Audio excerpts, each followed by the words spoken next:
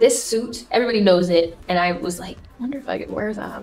And so I sent it to Law and I was like, what if we wore this for the premiere? He was like, are you being serious? And I was like, yeah. He was like, don't play with me. Like, don't get me started on something and make me do this and you're gonna like chicken out at the last minute and be too scared to wear it. And I was like, I mean, if we can do it. One of the men who originally made it was with us and he was like, you know, we can try it, but there's also a world where certain parts won't, won't fit. It doesn't work because there's certain hinges and, and places where your arms and things need to move. But we tried it on I was like, guys, I think it's fitting. It fit like a glove. And I was like, this is so crazy. And everybody was like, whoa, like, you know, it just felt very like, oh, it's meant to be, whatever.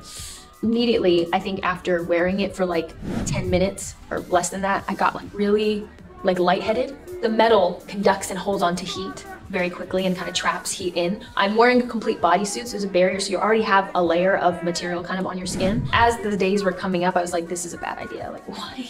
Why did I do this? But I put it on, I went out there and I did it.